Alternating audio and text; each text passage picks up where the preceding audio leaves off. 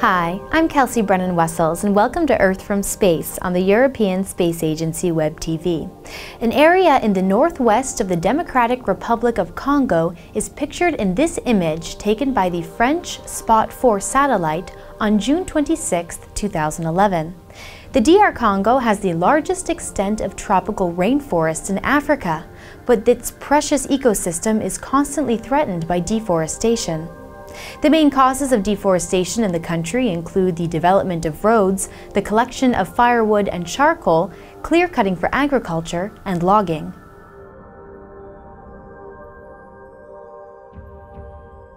The area pictured is centered about 3 degrees north of the equator in a province appropriately named Équateur for this reason. Most of the lighter green areas are deforested, while the darker green are areas of dense and possibly natural vegetation. The lines cutting through the image are roads, many with structures built along them. Clusters of purple dots are larger settlements.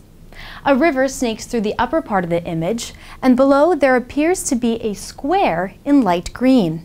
Judging by the precision of the outline, we can deduce that this is a patch of land that was either intentionally spared from deforestation or has been reforested. With their unique view from space, observation satellites are instrumental in documenting the scale of deforestation, particularly in remote areas, and can assist authorities in forest management.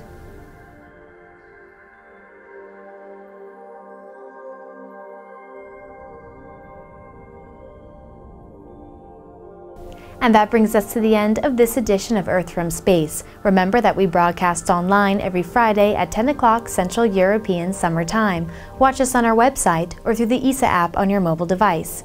From the ESA Web TV studios, I'm Kelsea Brennan Wessels.